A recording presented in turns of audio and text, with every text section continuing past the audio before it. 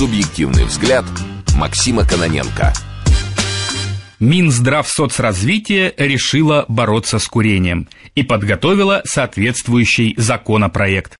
Чиновники говорят, что у России есть обязательства в рамках Конвенции ВОЗ по борьбе против табака, к которой мы присоединились три года назад. Но вот перед кем у России обязательства создавать дурные законопроекты, чиновники не признаются. Итак, кроме значительного повышения акцизов на табак и запрещения рекламы сигарет, новый законопроект предусматривает следующие бессмысленные и беспощадные меры.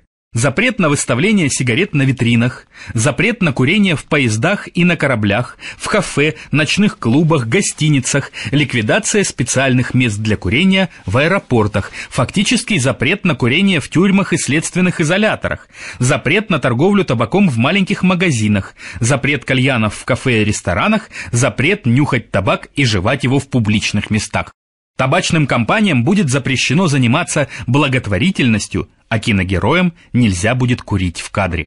Конечно, в просвещенной Европе и инновационной Америке уже действует множество подобных идиотских запретов. Но зачем мы должны уподобляться им, непонятно. У нас в стране и без подобных законов много смешного.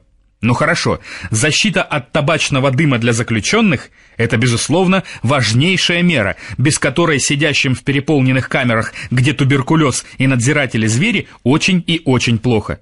Сергей Магнитский наверняка бы не умер, если бы его защитили от табачного дыма. Но при чем тут интересно нюхательный табак? А жевательный? Каким образом нюхающие и жующие табак мешают окружающим? Не понимаю. Почему табачные компании не могут заниматься благотворительностью, если их реклама запрещена? Вот хочет табачная компания, например, перечислить миллион долларов на лечение больных детей, а нельзя. Лучше честная смерть, чем жизнь, купленная за преступные табачные деньги. Ну а самое главное, совершенно непонятен центральный момент. Зачем нужно вводить такой огромный комплекс драконовских ограничений, вместо того, чтобы просто взять и запретить употребление табака вообще? Конопля у нас считается наркотиком, и ее оборот запрещен. Приравняйте табак к конопле, и вопрос будет решен одним единственным постановлением. Раз и навсегда. Почему нет? А потому, что табачные компании платят большие налоги, и потому, что акцизы на табак будут пополнять бюджет. Так что мы ограничения, конечно, введем, но от курицы, несущей золотые яйца, отказываться не станем. Пусть курят, пусть травятся, главное, чтобы мы этого как будто не замечали.